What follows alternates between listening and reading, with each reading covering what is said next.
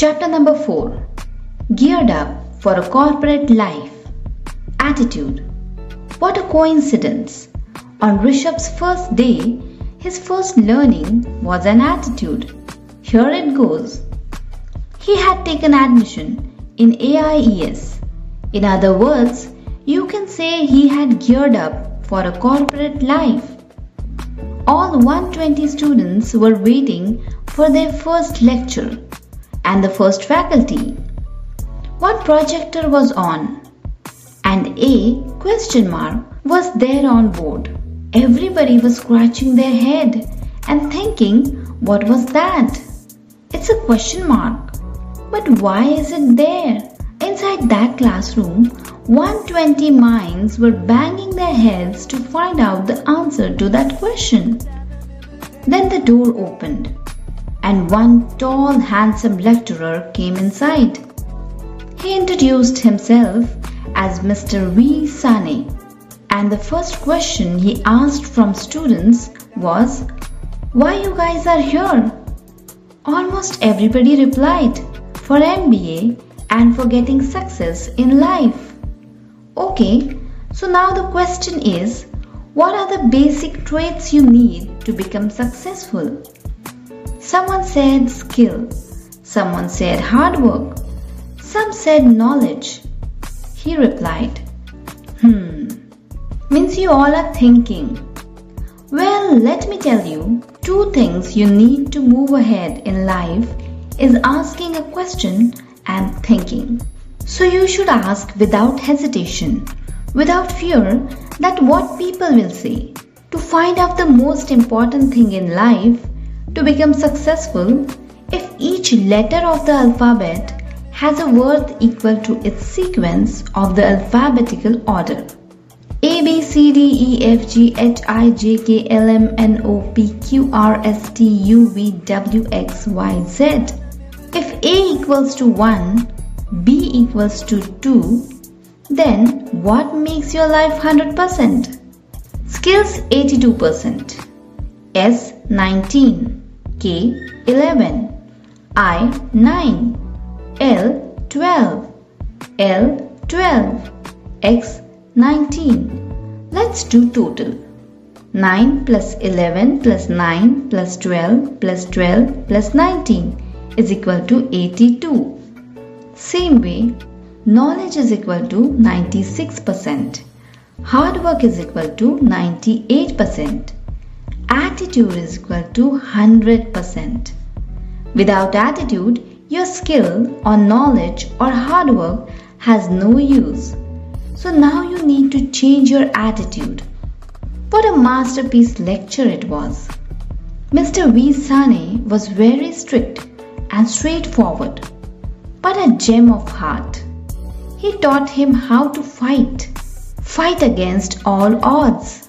Rishabh's educational background was not as perfect as the course required, like graduation from economics or commerce or engineering background well versed English and high lifestyle. He had nothing, not even a basic knowledge of operating computers, like making PPT presentation. You can't imagine management course without PPT presentation. The first day, he took charge of making the first presentation of his batch and went to cyber cafe. He had given almost 20 hours there and learned how to prepare presentations. Next day, he presented his presentation and, as usual, failed to impress Mr. Sane. You can't be a master in one day, right? You need to practice a lot. But this attempt brought some new friends for him Vesh and Yash. He learned a lot from his college life. When the result of first semester was out, he was the topper. Among 120 students, he was the topper. Topper not from the top, but from the bottom. Yes, from the bottom. Nobody except Vesh wanted to be part of his presentation group in any assignment. His communication skills were not good and knowledge was also very limited due to past academic background. He was working hard but not able to understand what to do. Another faculty, Mr. Sanyal, came in class and gave an assignment on excellence. He was a faculty for communication skill and asked him to speak. He prepared and went on podium, but forgot everything and his mind was blank. Then she told him, Rishabh, you are on the podium and you are the king. Communication skill is nothing but just a way to convey your thoughts in a simple manner to your audience. And when you are on the podium, that time you command the knowledge which you need to deliver. Act like a king and control. If you don't like the mic, then don't use it. Don't like jargons, don't use them. Use simple language and connect with the audience and deliver your thoughts. It was such a confidence booster. All fear was gone and the first biggest victory was achieved. Next day, he got one assignment from Mr. Mane, presentation on EVA, economic value added. He got one partner Venu as a co-presenter and this presentation carried some marks which were going to be added in their final results. Rishabh started preparation, but just one day before he was supposed to present his presentation, Venu ditched him. He had to present that crucial presentation alone. He went ahead and followed Miss Sanyal's advice. Keep it simple and on the podium you are the king. Mr. Sane came dot on time. The entire class was waiting for Rishabh's presentation and also to see what punishment he is going to get from Mr. Sane. The first question asked from Sir was, Where is your partner? He said he backed out, but I am ready for my presentation. Alright, let's see. He switched on the projector, left the mic, and went in between the row and started his presentation by saying, I have only three slides to present. One is dealing with the traditional definition of EVA, and second slide is dealing with my interpretation and explanation. Third is the conclusion. But before going to the third slide, there will be a question answer session. You all are free to ask any question regarding the subject. He still remembers what he explained about EVA. No jargons in plain and simple way he explained. If I invested rupees 100 and got a total income of rupees 120, so my profit is rupees 20. Now, if I further invest rupees 100, then the total income is rupees 230.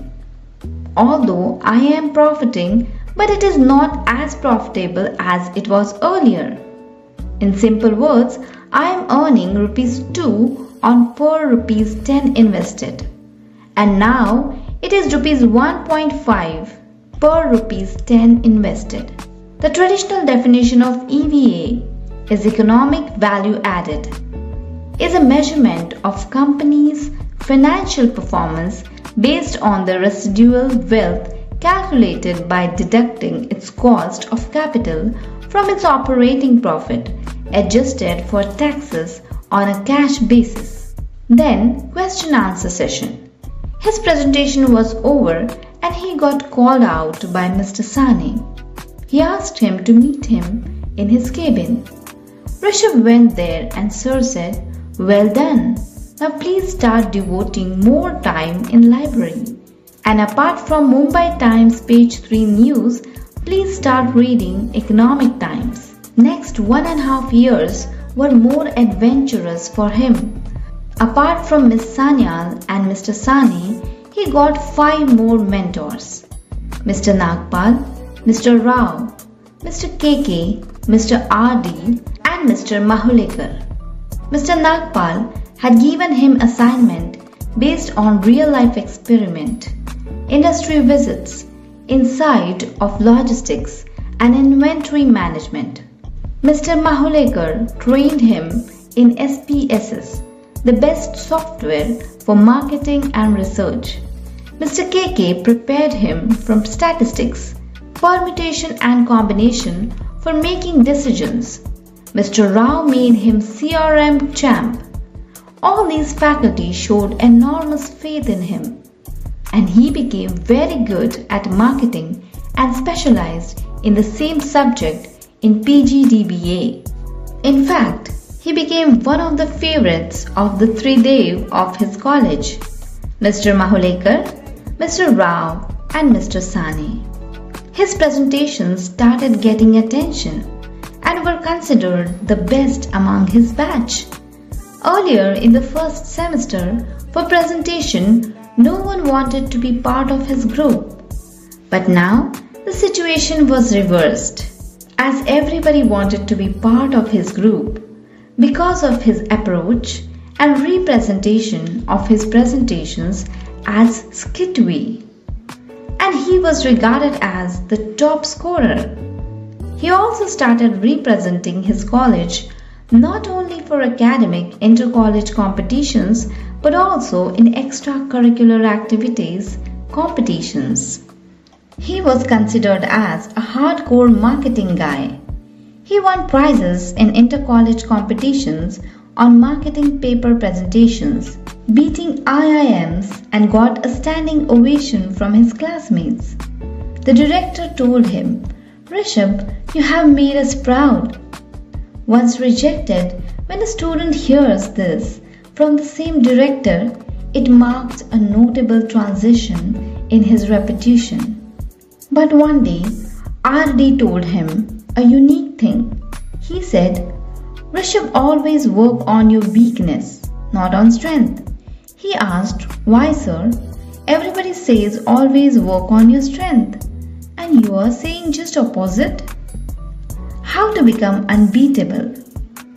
RD said, Rishabh, Look, management is not about one department. It is about all. You are not from IIM and this is a very competitive world. Quantity is more but the quality is less and if you work on your weaknesses, you may be able to convert your weaknesses into strength. That day you will become unbeatable as an MBA product. Rishabh said, Okay, sir, I will try. Now he entered the final semester. The recession had occurred and no new company was visiting the campus. The pressure was mounting. A new director had taken charge and always used to say to all his students, Work hard, only then you can get a job. Once you get a job, then you earn money, and when you earn enough money, then only you will get a wife. If not, you will get nothing. New junior batch had come in college and seniors presented a skit written and directed by Rishabh. In that, he put the punchline in a slightly twisted way. He showed college life in a skit and represented Tier 2 city college conditions. The punchline was no campus recruitment, no placement. No placement, no job. No job, no money. No money, no wife. If no wife, no life, then need to jump at Vashi's Creek. This satire almost cost a job for him because the new director had not taken this punchline sportingly. But his final result saved him. His name was once again featured on top. Yes, on top. But this time from the top, not from the bottom. His college life was at its last stage. Job searching was at its peak. Everybody was happy with his progress, and some college staff who was happier than anyone else were the librarian, Ameya and Parag the computer lab instructor, Pai, and support staff. Finally, they were not going to irritate by book demands and demand of opening up the computer or library early and keep them open late in evenings. Rishabh spent most of the free lecture time in these two places. His mentor, Mr. Rao, wanted to venture in the education industry. For his startup, he needed one team, and he had chosen Rishabh along with three of his batchmates Raj, Lippy, and Shobha. Before joining the corporate world, Rishabh's other mentor, a father figure, Mr. Nagpal, called him and his friends at his residence and said, Hey, now you and your friends are going to be part of the corporate world. So you need to take care of few things. You don't have to become workaholics. You have to become workaholic. Means having fun doing what you are going to do. Workaholic. Hmm, great. Rishabh had new buzzword for future corporate life. Push yourself. Second most important thing is that you have to push yourself to limits. And remember, the sky has no limit. You need to get a goal to push you. Get a challenge to push you. Get a deadline to push you. Push yourself with self discipline. Get others to push you. Get competition to push you. Get ideas to push you. Get a tall mentor to push you and a mentor to support you. Success again seems to be a pushy thing. Great, Rishabh was in deep thought. What are you thinking, Rishabh? Sir asked. Nothing, sir, just thinking about how to do all this, Rishabh replied. Okay, let's find the answer to a few questions. And the first question is Do we know ourselves? Mr. Nagpal asked. Do we know ourselves? There are few people who are living in this world that have no real sense of self identity.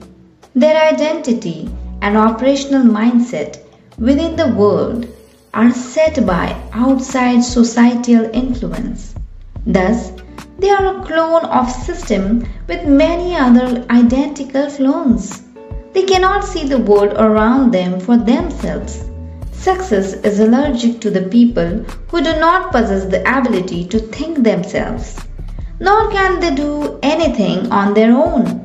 Rather, they like being told what to do by others. Life is controlled by. Their life is controlled by parents, media, friends, government, job, spouse. People allow these different entities to dictate how their life is planned, causing them to misread what actually brings value to their presence within the world. The greatest danger to a person is not knowing who they are actually when no one else is around to tell them so. What you need to do you need to take a day or two for alone time to be yourself. Stay away from everything and everybody to only be with your own thought and with yourself. You need to do a self analysis of yourself, identifying your strengths and weaknesses. You need to list out your dreams and identify the fears you have, which will make your dreams difficult to achieve. Now invent a plan that positions you as a leader of your own life, living life by your own set of morals or ideals. The virtual world of success. The second question Are we living in a virtual world of success? We see people driving a Mercedes car and think the person who owns the Mercedes car is successful. What they do not see is that the individual owning that car may be in the state of panic because that car's EMI is due, the mortgage is behind, and other expenses are due, which have them drowning in debt. False images blind the easily influence a person's ability to see what actually matters beyond public opinion without knowing the truth behind the publicized facade of many who fake success. People easily get stimulated by virtual representation. So, when your eternal being is miserable, you are not successful. Real success produces the ability to think freely and do as you wish on your own terms. What do we need to do? We need to learn to see life beyond material wealth and reject the need for outside validation. People and things are not constant, they change and disappear as time goes on. Develop your emotional intelligence skills. This power helps to gauge people beyond what they publicly display in order to see them for who they truly are. Live below your means until you can comfortably live well. This is accomplished when money can be utilized as a resourceful tool rather than a desperate need. Confused? Hey, not a big deal. Let's start one by one. Mr. Nagpal had taken a pause and started explaining again. A. For ideas, you need to keep a diary, and when an idea and information comes your way, you just need to write it then and there. It is challenging to be a student of your own life, your own destiny, your own future. Don't trust your memory. When you listen to something important or valuable, write it down. Take the time to keep notes and maintain a journal. B. You have to carry a schedule and record all your thoughts, conversations, and activities for a week. C. For any activity or conversation that is important to your success, you should have a time given to it. Schedule an appointment with yourself and create time blocks for high priority works, conversations, and actions. The program when they will begin and end. Have a discipline to keep these appointments. D. Have plans to spend at least 50% of your time involved in the thoughts, activities, and conversations that produce most of your results. E. You need to schedule time for disruptions. Plan time to draw away from what you are doing. F. You need to take the first 30 minutes of every day to plan your day. Until you complete your time plan, don't start your day. The most vital time of your day is the time you program your time. G. You have to take 5 minutes before every call and task to decide what result you want to attain. This will help you to know what success looks like before you start and it will also slow time down.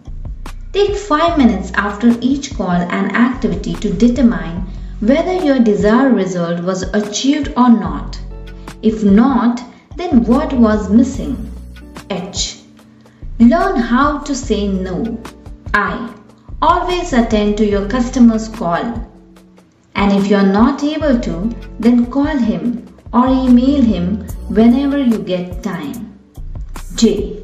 You need to block out other distractions like spending more time on social media unless you use this as a tool to generate business. K. Remember that it's difficult to get everything done. Also remember 20% of your thoughts, conversations and activities produce 80% of your results. L. It takes the time to build a career. It takes the time to make changes. It takes the time to learn, grow, change, develop, and produce. M. Learn to solve problems. Family problems, financial problems, emotional problems, business problems. N. Last but not the least. In corporate world, you need to be first person to be in the office and the last person out from the office. Sir completed this sentence, took a glass of water and again asked, Rishabh, are you there? Yes, sir. I'm thinking how lucky I am to have a mentor like you. These are small things but need to be practiced. As we have nothing to lose, if I fail, then what will I do? I can't fail. My father had put all his savings on my education. Nothing more is left. So I need to practice this and will do so, he replied. Life is a collection of experiences and their intensity. It is not just a passing of time. The best phrase his mentor gave him Mr. Rishabh, if you will change, everything will change for you. Rishabh accepted the offer from his second mentor, Mr. Rao. So in recession also he got campus placement without coming companies into the campus.